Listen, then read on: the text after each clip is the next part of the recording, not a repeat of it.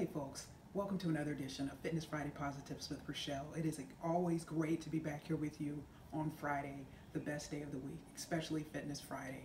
Folks, I'm so excited to be kicking off a new series, new three-part series entitled What is Your Problem? What is your problem?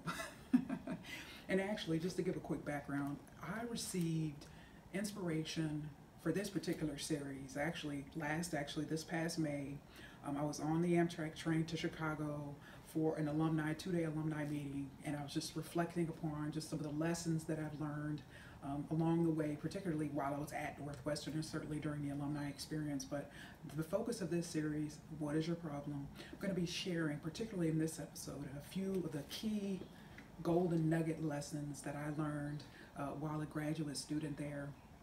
But I received, I was so inspired that morning, and I said, you know what? I need to do a series on that. You know, I need to do a series on problem definition. And so here it is, here it is.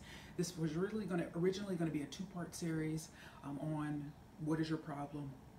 But I'm actually going to drop in an additional episode next time um, discussing, once again, one of my greatest lessons actually, quite frankly, is the value of competitive analysis. So in the final episode, we're going to talk about the problem that many folks, particularly on the commercial side, have in terms of hiring and retention. Big, big, big problem. So stay tuned for those. But folks, I wanted to kick off this series with something, you know, my life is always unfolding in real time. So Saturday, the 28th, um, I received a text message um, from my brother. For those who don't know, my brother is retired Army, um, retired from the Army in 2017 after many years um, just a, a, wonderful career. He was he was an officer, but he spent 13 years enlisted and then transitioned the Green to Gold program. So uh, became an officer, uh, like uh, my father's footsteps in the Navy, being a Navy officer. Got an awesome email from him. And I just wanted to share with you really quickly because when I first saw it, um, I was like, what in the world? And I looked at it and as you can see here, you may not recognize it if you're if you're not a member um, of Planet Fitness or you've never been a member. But anyway, he sent me this text message, and I just saw my and I said to myself, "Oh my God, did my brother join Planet Fitness? Is Oscar a member of Planet Fitness now?" So I replied, and long story short, he he retired, is now of course in, in Oklahoma City. I've shared this before, but in Oklahoma City. And then I replied back and said, You joined Planet Fitness? Did you join the Yukon, Oklahoma location? And for those of you who may not remember, I actually did it uh, on one particular episode. I highlighted, I, did, I had a couple of Planet Fitness or PF Adventures too when I was visiting him last August, um, August of 2018. Um, had a had a wonderful visit to a couple of those Oklahoma City locations. One being the Yukon was really, really, really smitten with that location. Yukon, Oklahoma, which you know, my brother lives in Mustang, and Yukon is the next suburb over. Uh, but also the Southwest 59th Street location. Went to both of those locations, but was really just so so smitten and, and, and really just impressed by that that Yukon location. And he replied and said, "No, I joined the location that is right by my job." So anyway, you know, the, the awesome thing with iPhones and you take pictures and stuff, it'll tell you the, the, the location will be embedded. So anyway, my brother is now a black card member of the Brookdale, it's the Brookdale Shopping Center, but it's on Southwestern Avenue in Oklahoma City. But so my brother is joined Planet Fitness. I thought that was just so cute. Uh, but anyway, and I'm going to share more about this actually on the last episode. We talk about, I'm going to share with you the challenge. See, I have challenges like everyone else because my brother retired from the military and just, you know, adopted sedentary lifestyle. And if you think you hear from me the, the value of fitness and all of that on these episodes, imagine knowing me personally. Uh, but I'm just so proud of myself that I just, you know, left him alone. I didn't nag him. But I'm going to talk more about that. And he made the decision on his own to, to get active again. So we'll talk more about that actually um, on the, the final episode. We'll talk more about that. So just had to kick off the episode, this episode, and, and share that. Maybe smile. Folks, back to Northwestern, back to Northwestern University. And I look back, I look back on those years. I mean, it was a very challenging season, obviously, um, in my life, uh, but but but just just just so proud and just so just in all looking back, just all the wonderful lessons that that Northwestern taught me, and and I remember arriving on campus like many, just with a with a a, a pretty, I wouldn't say huge ego, but it was it was a it was a bigger ego than I think it should have been you know, I've, I've mentioned it in previous episodes, you know, humility is something I'm really, really working on. Um, you know, I, have tended to, to gravitate more towards the pride problem. Um, and so I'm really, really working hard diligently on my humility. And that's why I can look back now and say, you know what, this, this, is, this is truly something that I know I can conquer. But one thing, actually, the, one of the, the key lessons that, that I learned early on, and I share this, you know, I mentored college students for a number of years and a few students, um, high school students that, that enrolled at Northwestern, mentored those, few of those, handful of those over the years. And one thing I often told them, and I even tell students if I encounter a student, that whether you know you're going to Northwestern or University of Chicago, Stanford, any of the Ivies, um, you, you there's one thing you need to keep in mind, and this is one of the, the, the first lessons that I learned. It was a very tough and very painful lesson, and that is what I call EDP. EDP.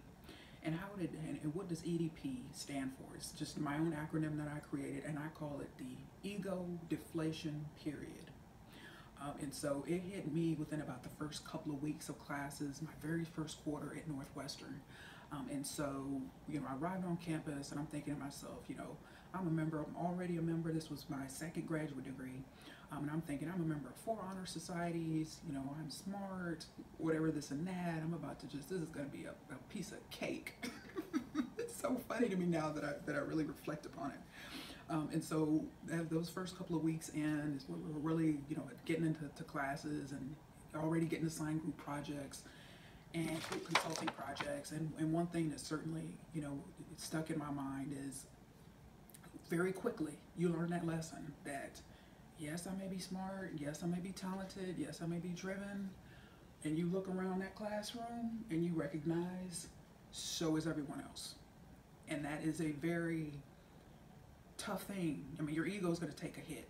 I mean, it, it really is. Because when you're used to being kind of, you know, like always way up here, and then all of a sudden you're, you're put in an environment where everyone is up here. Um, what it does, of course, is increase the level of competition at the peer level. Um, and so it just was a very, I would say, just a very humbling period, those first couple of weeks where you kind of recognize that, you know what, so and so may have graduated number one, you know, may have been the, you know, just all of these summa cum laude, whatever the case may be. Uh, but it doesn't matter when you're in a situation where like everyone else is, is, is highly decorated and, and, and, has all these different accolades. So that ego deflation period is something that, that was very important to me and, and certainly shaped my experience there, but also my experience in life. And so some of these lessons that I learned along the way, folks, um, I like to share those lessons with you and, and actually I've integrated some of these lessons into what I do on a professional level like this whole EDP or ego deflation period. Yes, I experienced it in Evanston, Illinois on campus my first quarter, but guess what? Through these episodes, vis-a-vis these episodes, that's why I like to highlight best practices from different locations, from different gyms, different facilities, different leaders, because I like to expose you. And see, that is the benefit of exposure and exposing yourself to something, different experiences, hearing about what other people are doing. Not for you to to get all insecure and say, oh my God, they're doing this, so then I got to do this. And, you know, trying to imitate everything you hear and see on this Fitness Friday Positive Tips or even in your own market. No, this is a way to spark, to spark inspiration for you to be the best that you can be. Because if you, all of a sudden you want to try to compete with somebody that has a hundred thousand dollar marketing budget and your budget is twenty five hundred, and that's pushing it for you, you got to realize that's just not going to work. That is a recipe for failure. But that's why I like to share my, my PF adventures and adventures as I have over the last few years to different gyms at different facilities because I want to expose you to something that is greater than, than what you know typically with tunnel vision as fitness as fitness facility leaders will have, have tunnel vision or even gym goers or fitness facility members and patrons themselves you know oftentimes people kind of get stuck and it's just with the status quo and they've got this tunnel vision this is all I know. This is all I've ever known. And so that's why I want to expose you. What was it? When I stepped foot in Evanston, my first couple of weeks, I was exposed to people that were extremely smart, other people that were extremely smart, extremely driven, extremely talented, with very equally bright futures as mine.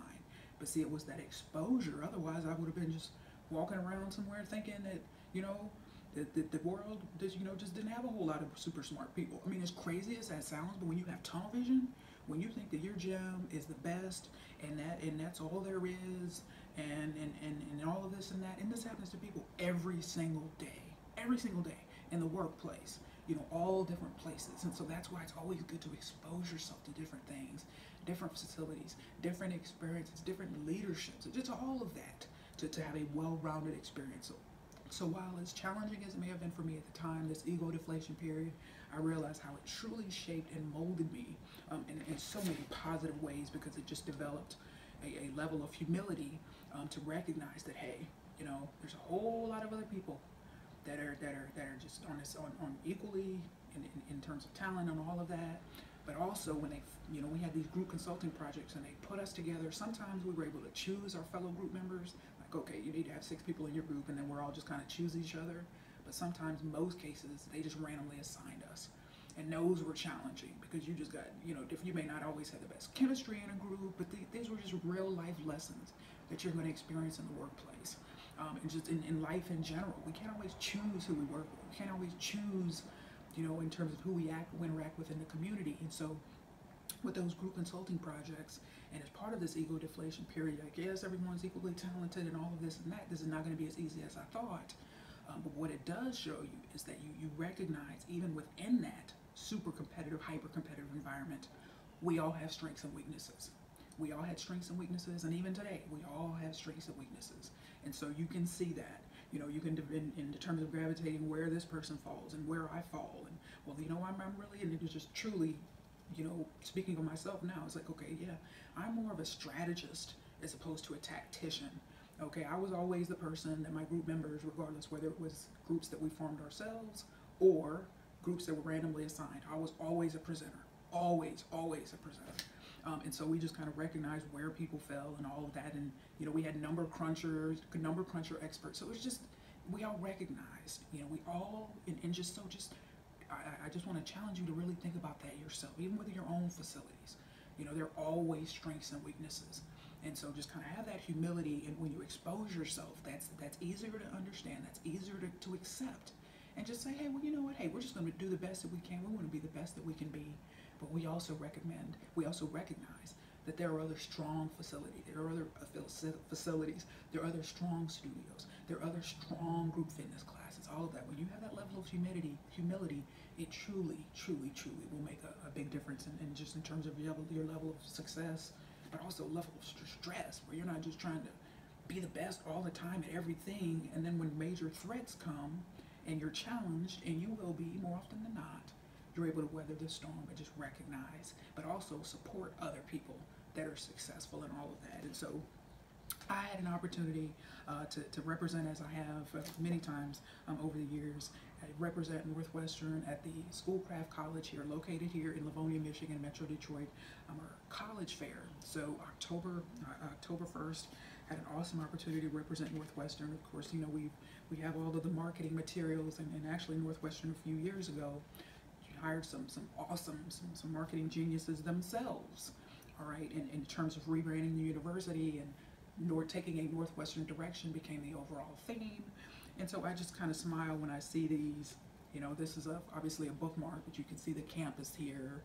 And uh, you can see beautiful off of lake michigan.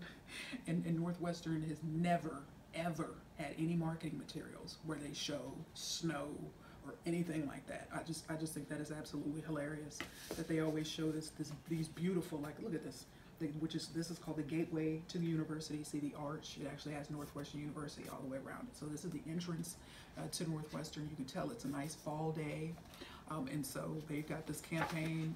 And, and one thing that, that, that really made me smile, kind of cracked me up when I saw this, is the, the, the cost and, the cost of attendance um, and how Northwestern actually, so from, from the 2018-2019 academic year to the 2019-2020, the tuition for the first time in a long time did not increase at all, remained constant. So the total cost remains per year, academic year, seventy-eight thousand six hundred and fifty-four dollars. And I and I was telling one of the one of the my fellow alum, my fellow alums, I said, you know, well, the reason why that is, and that's because no one wants to be, particularly in this, this, these kind of expensive elite universities, none of these folks, none of these entities and universities wants to be the first to crack the $80,000 a year total cost mark. So the tuition has remained remained uh, the same. So it's going to be interesting to see how that how that plays out moving forward. And so Northwestern also too is going. You hear me talk about going on offense.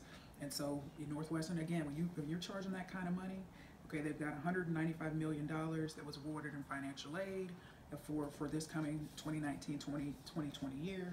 100% of domestic students, if actually, yeah, because international students don't, don't qualify for financial aid. So um, demonstrated financial need, 100%. You know, so they are loan, loan free. I won't get into all of that, but Northwestern has shifted away from saddling students with a bunch of loans. They've shifted more towards scholarships and grants. Um, so even entities like Northwestern are doing the same thing. You know, they're, they're evaluating what are our strengths, what are our weaknesses, what are our opportunities. And so you can see this brochure here. Same thing, beautiful view of campus, beautiful view, but absolutely no, absolutely no uh, signs of, of winter, of winter at all. See that? You can tell that looks like a nice spring day with the flowers. Um, and so that's that's one of the brochures. Um, and finally, this is this is the I mean, this has got a lot in it, but I just only wanted to highlight this one. Once again, look at this beautiful view of campus overlooking Lake Michigan. Because they don't want to give people the impression, I mean, it's the real impression of how brutal, that was absolutely brutal those winters are. Uh, but that just cracked me up. So always happy, always happy to serve um, my university. And so speaking of another, you know, continuing this conversation, another wonderful lesson that I learned that you all experience on a regular basis is the case study method. The case study method of learning. I, I, you know, I even write my own case studies, develop my own case studies. Those are certainly a trademark of mine from a speaking and a, and a teaching and training standpoint. I'm known for my case studies, and that's why I'm always really kind of observing and paying attention in, in terms of what's going on in all different situations, because I'm always writing up different case studies that illustrate and bring things to life because you can tell people, you can teach people something, you can have a training seminar on one different thing, but if you can bring those examples to life with real life case studies, and, and Northwestern is very big, remains very big on, on the case study method in terms of teaching, learning, all of that. Um, and so another lesson that you all experience on a regular basis, here it is, and actually have this permanently, you know, down here because I refer to it so often and that is the power of the SWOT analysis. How many times have you seen me bust out my SWOT analysis? my little visual here, my, my visual aid, strengths, weaknesses, opportunities, and threats. These two are internal, these two are external. Um, and so we're actually going to talk more about this, particularly in the next part of this series. We're talking about the competition, the value of competitive analysis. Um, and so this, this, this is so, so, so important to, to, to always evaluate where you stand what are you doing? What what what is going on in your market? What opportunities are there? What what threats are there? And so this is something, but you also need to be grounded and recognized. You know, we all have weaknesses. All facilities have weaknesses, um, and so you want to make sure that you're mindful of those and doing whatever you can to address those weaknesses. And you've also, in the same vein, you got some strengths. You want to continue to capitalize and leverage those strengths, uh, to continue to remain diligent in terms of maintaining those strengths. Uh, but this is all something, and this often said that these are the things that you can control. Yeah, your strengths and weaknesses, for the most part, you can control those. But these externally, these are the often the things that can spring up on you, whether it's a new competitor in the market, whatever the case may be.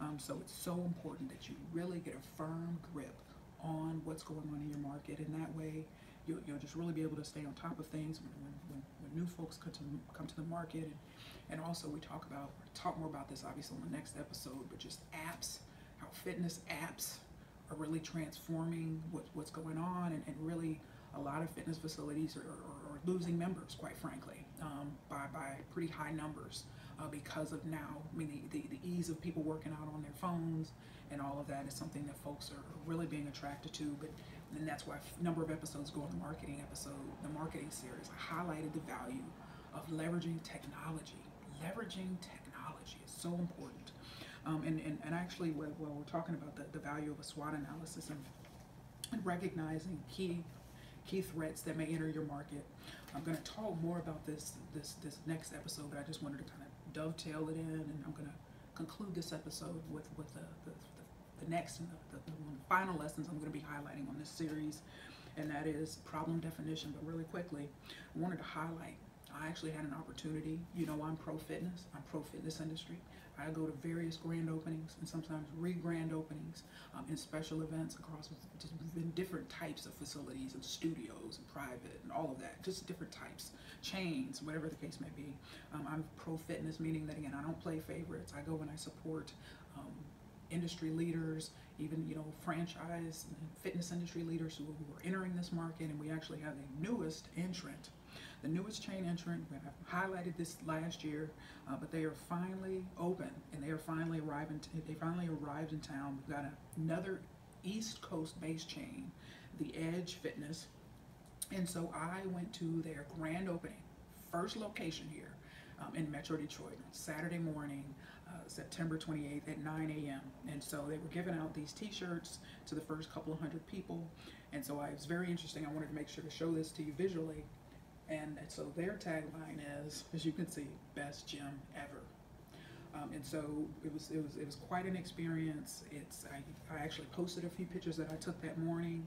Um, it was, you know, nine o'clock is when they officially opened the doors um, to their first location. It was actually a slightly overdue location. And so they, they originally were supposed to be further north in the, in the city of Farmington Hills, but they've actually, which very, very smart move, on the southern end of the city where there's certainly far more potential and they've got you know major competitors there if they would have you know had their original plan um, with, you know with Planet Fitness being in Farmington Hills, Crunch Fitness, um, you got Powerhouse Gym, you got the YMCA um, of Farmington Hills.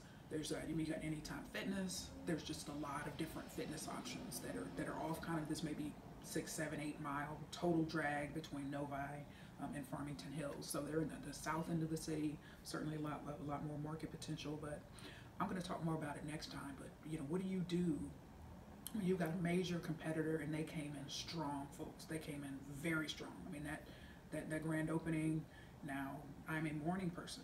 I'm a very early morning person. That, that I had already worked out that morning at the Livonia Five Mile location. I had worked out, did a few things, and then went to their grand opening. So I got there about 8:30, waited in line, um, and so they had they had it electrified outside. Um, and so they actually had, and this was interesting because I initially was kind of confused, but um, they had the uh, Pistons mascot, Detroit Pistons. Detroit Pistons um, are NBA team here locally. So they had members of the Detroit Pistons Extreme Team dancers there. They had Hooper, which I learned, I didn't even know the name of the mascot. Yeah, Hooper, the mascot was there.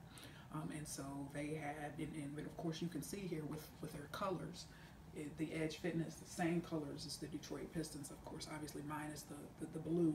Uh, but anyway, so it was a sea of red. So you had these these Pistons, this this heavy Pistons focus.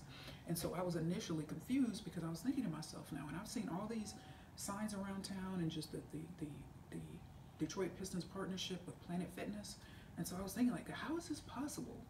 Um, and so, and then I eventually, you know, kind of, you know, looked at some of my, you know, previous marketing materials and stuff, and I see that Planet is the official gem of the uh, Detroit Pistons.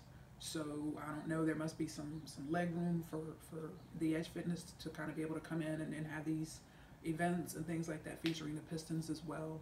Uh, but anyway, I was very impressed. I mean, they had it.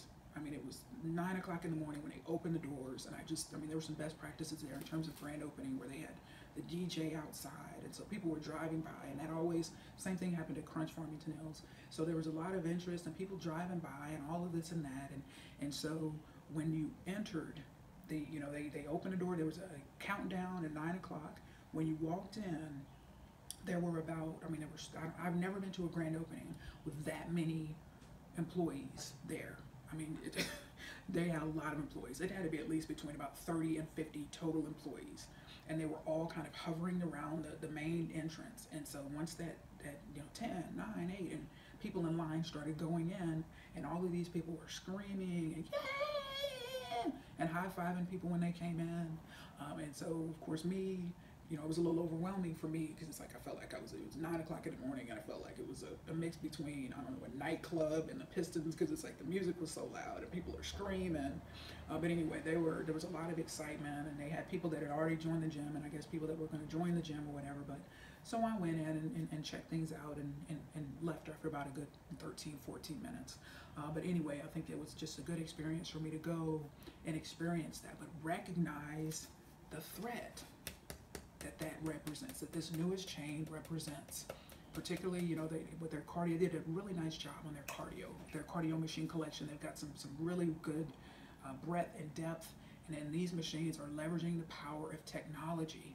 You know, they're just very technologically advanced. And so that's, when you think about it, relative to Crunch, um, their, their, their cardio is stronger you know, because they've got they've got their own TVs on their cardio machines, um, which of course puts them ahead of many of their competitor competitive chains here. Um, but also, um, they just it's just the, the machines are just more advanced, and they've got different, you know, a greater variety of fitness brands and manufacturers in terms of, of their equipment. And they've got their group fitness classes, and they've got the Edge Cinema, um, just just a breathtaking facility. I mean, I would I have to give it to them. It's absolutely breathtaking facility.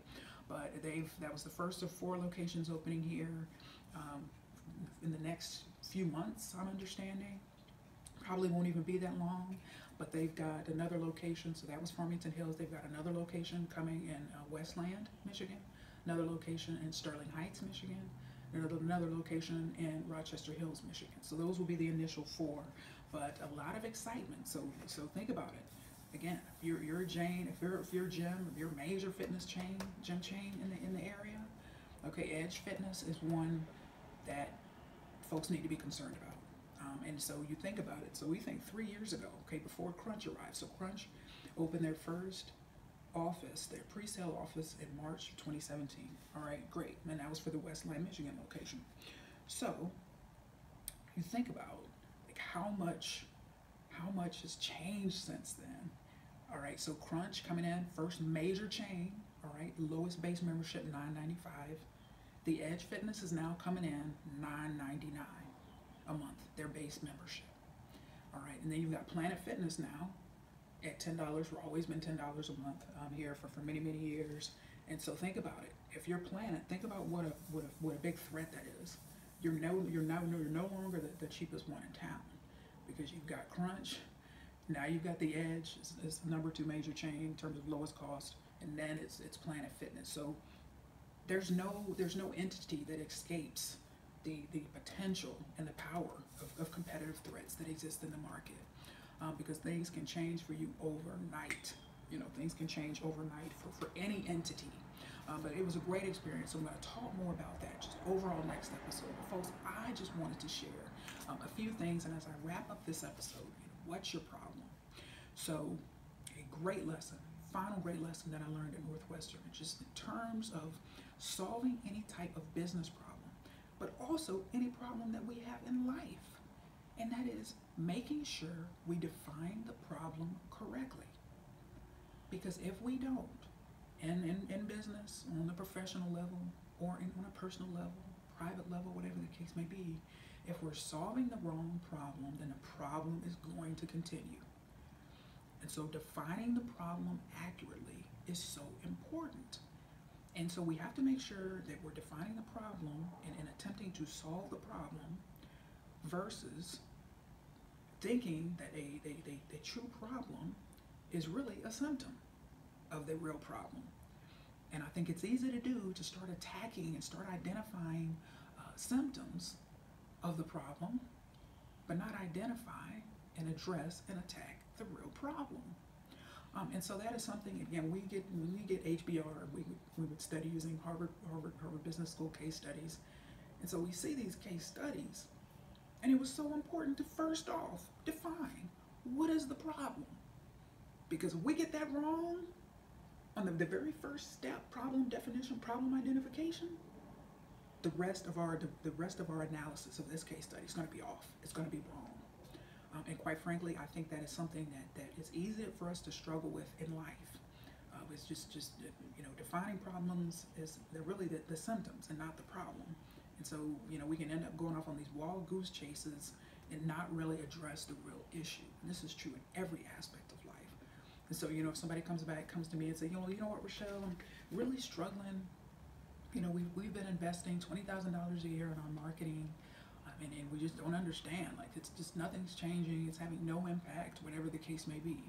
Okay, so is the problem really your marketing efforts? Or could the problem be that you've got some antiquated equipment and you've got major competitors that have really just just just soared ahead of you in terms of what they're able to offer members. You see the difference there? A lot of times we kind of get comfortable. Oh, yeah, this is a problem, and, and the problem may not really be the problem. Well, you know what, Rachelle? I just don't understand. Our personal training, our, our personal training revenue has been flat, you know, for the last four or five years, and we don't understand what in the world is going on. Okay, well, could the problem be that you know perhaps you're not you may think the problem is you know you're just not marketing your your, your personal training services which could certainly be that's a problem for for some entities but could the problem be that you have personal trainers that are not credentialed that don't even have certifications and you're putting them in front of clients expecting them to train people and expecting them to have some credibility in, in, in terms of interacting with folks you know, or perhaps another big one that I'm going to come back to. I'm going to come back to this issue on, on the final episode of defining the problem. I don't understand, you know, our, our personal training revenues just are not moving, whatever. Well, could the problem be that half your personal training staff is overweight and needs to be trained themselves?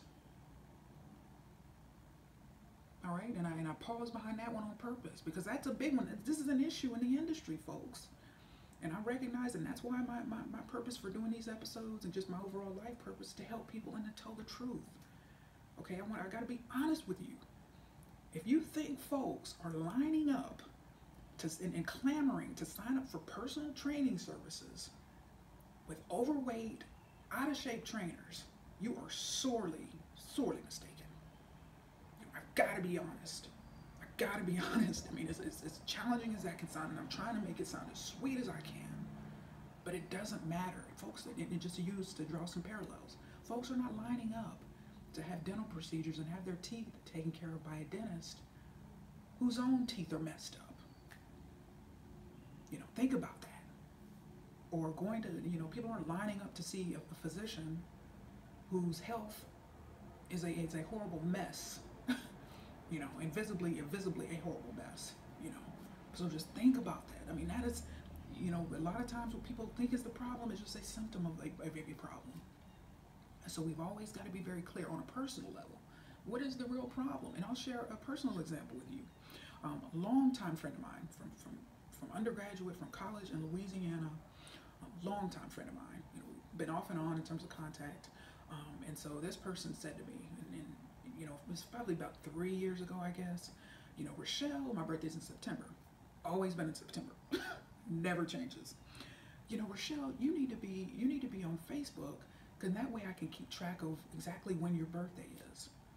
Uh, because this person would kind of guess, and you know, I know your birthday is sometime during the month of September. I don't know exactly when, so I'm sending you this text message to say happy birthday whenever it is. Okay, and so think about that, folks in that situation, it's easy to say, okay, the problem is, no, the problem isn't that that person has a has, has a, a bad memory. Nope, that is not an issue. That's not an issue for this person.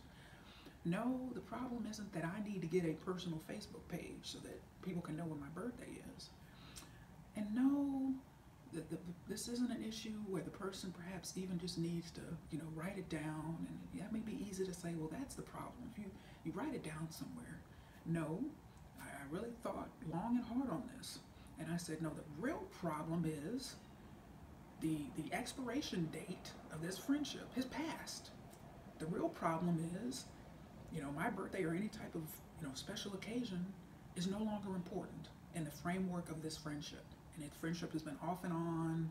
You know, was this the, the situation? It was more of a situation of, I think, obligation of just having knowing somebody a long time and the friendship just really wasn't there. It, you know, it just was, I think, more than anything, just an obligation. So when, and now you often hear me say, like, don't settle, folks, don't settle. Don't settle for, for crumbs and, and, and people that, that, that, you know, don't celebrate you, that don't honor you or honor you and, and celebrate you even any longer, because of course it's been a long time, long term friendship. But when the expiration date is passed on something, you got to be willing to let it go. And so I have, you know, in a very nice, slow fade kind of way. Um, but that's a, that's an example. You know, you may think, oh, well, I need to get a Facebook page so I so remember my birthday. No, if you truly value the friendship, you'll remember. Because I remember. I have no problem remembering when your birthday is or anyone that I truly value's birthday is. So we got to make sure we're solving the wrong problem. You know, oh, you hear people often say, struggle, you know, particularly in the realm of fitness journeys. Oh, you know, I, my, my friend or whomever um, who works out with me, my workout partner, is always canceling, something is always coming up, whatever this and that. Okay, yes, that may be a problem, but is the real problem that your friend's always canceling on you? Or is the real problem that you lack motivation? Because when you determine what the real problem is, okay, well, instead of, you know, kind of putting it all on my friend and oh, I can't work out, I never work out because my friend, which is easy to do, blame shifting. How about the person take responsibility to say, the bottom line is I lack motivation. If I don't have somebody pulling me along or somebody going with me, I don't have any motivation to go. But then if you identify the problem, okay, well, what are some things that this person can do now to work on their motivation? Because that is a real problem. Because if you're motivated, if you've got a partner or somebody working out with you or not, you will still be motivated to, to go and do what you have to do in a fitness facility. And so defining the problem, defining the problem is so important. You don't want to be, oh, our turnover is just crazy, particularly on the commercial side of the industry. Um, the commercial is just, the commercial side is so tough. You know, just our turnover is such a problem, or whatever this and that. Maybe we need to pay more. Okay, that may be true, but could the problem also be, or some additional problems that you need to continue to just drill down to to determine? Could it be that you have no recognition, no recognition mechanisms in place, so people feel unappreciated? People feel unmotivated. People feel that they lack morale. You know, do you need to give people a raise? That may be the case. But do you need to recognize, value, acknowledge, appreciate people more? Or even, really going to talk about this one on the, the final episode of the series. Could it be that the person, that the general manager, the management team, whatever the case may be, could there be some problems at that level? Have you promoted someone to a role that they're not ready for? Do they have the people skills? Do they have the leadership ability to handle that? And if not, what are you going to do about it? What, what steps can you take from a leadership development standpoint to help that person? Because I, and you've heard me say this before, if you have not heard this, this saying, I'm, I'm telling it to you again now. This is, this is, this is so very commonly said. People don't leave Okay, you can you can say boss. you, you can say businesses, companies, in this case, studios, gyms, fitness facilities, corporations. They leave bosses. They leave supervisors. They leave managers. All right. So with that insight in mind, you got to ask yourself, like, what's going on? I may think that all these other problems are the issues because they may be more easy, these symptoms of the problem may be more easy to address than the real problem. We've got a leadership issue here. We've got some leadership development challenges here. And that's going to be the tougher challenge to address. we've got a manager who's running people off. You know, we've got a situation, we've got an assistant manager that's just mistreating people, whatever the case may be. But that's a common one. And you see this when you look at Indeed.com, Glassdoor.com, across fitness industry chains you know, this, these management struggles with, with former employees going back and writing this feedback on various entities in the industry, various gyms and chains. You, you see it constantly. Problems with management. Favoritism is a very big one that's thrown across all chains. Favoritism. Manager favors people. All right. And so the ability to be objective when operating as a leader is something that needs to be developed. Okay, so that's a leadership development issue. That is the problem. All right, the turnover is a symptom of the problem. All right, so we got to think long and hard about what the real problem is. And I've talked to you about this twice already on the last know, few months and episodes. I'm going to tell you for the third time. I can't believe, you know, people are leaving. Could a problem be, again, that, that there's something going on within your facility? Could possibly be, absolutely. Or could it be you've mandated them to watch Rachelle's Fitness Friday episodes every week.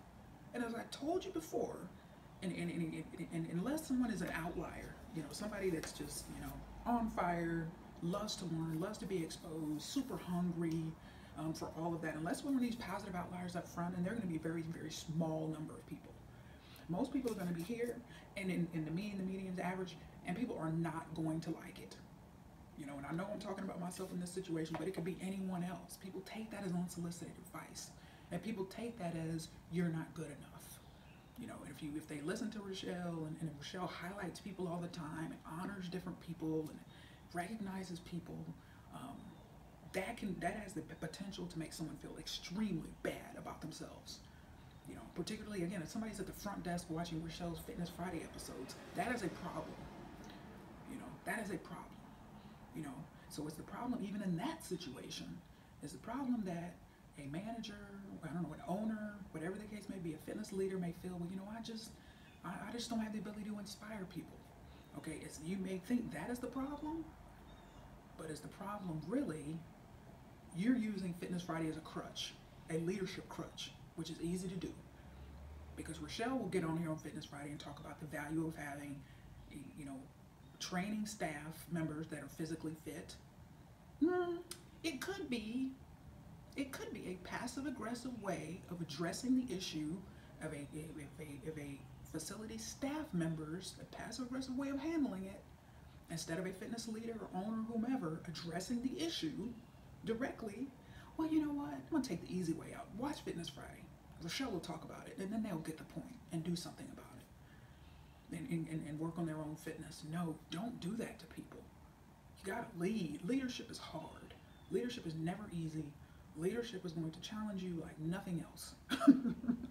Leadership is tough. And so that's why I challenge you to really think about many of the problems that, that, that, that people face in this world, professionally and personally, are due to, again, the problem definition. In many cases goes back to how a person feels about him or herself if you got low self-esteem, you have a poor self-image, if you feel inadequate, like you never measure up, you can never do anything right, you are going to have a boatload of problems. And, and again, these, these problems are gonna, gonna manifest as symptoms, but of the, the symptoms of a real problem being a person may have a horrible self-image. and that's gonna come across in their hiring.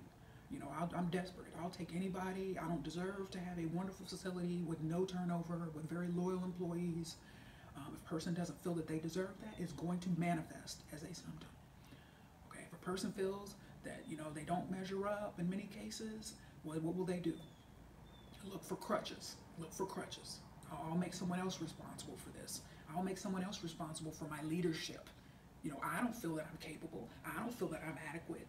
So I'm going to look for someone or something else to lead for me. I'm looking for a leadership crutch. Don't do that, please, folks. Don't do that. Don't do that. Do not make watching, make your folks watch Rachelle's Fitness Friday Posi-TIPS or anyone else for that matter. You know, you want to, you know, and if somebody's hungry, you, you can't, this is such a hard lesson. You can't help people that don't want to be helped. And if somebody's coming to you and they express hunger, hey, I want to learn, I want to grow, I want to, what, what can you tell me? What can you expose me to? Yes, absolutely. Those folks will, will eat it up and that's why these these Posi-TIPS are are very are heavily leadership focused. You know, this is not meant for someone at the front desk to be sitting here watching this every week because I assure you, you do that, get ready for some serious turnover. And the turnover isn't in this particular case, if somebody's doing that to their staff members. The problem isn't again all the people that are leaving. The problem is that person, you know, that that leader who was essentially said, here, shifted that responsibility on over to this. And people are, or in terms of, you know, Fitness Friday or any other person's um, situation like that. That could be, this needs to be a supplement in those instances for somebody who's really interested and really wants to be helped. This can't be it, or this is it. You, you're looking at me to just lead your people. That is not going to work. Not going to work. And so think long and hard about what the true problems are. Wonderful lesson um, that, that, that, my, my graduate education at Northwestern University taught me. Because if you don't identify that real problem, get ready to spin your wheels, waste a whole lot of money, and waste a whole lot of time. And I never want that to be you folks. So that is it for this particular episode. I cannot wait until next week when we delve deeper yet again with some fresher, newer examples, um, including the Edge Fitness here, our newest fitness chain. We're going to look again at this value of this SWOT analysis and some of the others here. Um, and so I can't wait. But until then, just remember I am positively passionate about your fitness and success. Make it a great day.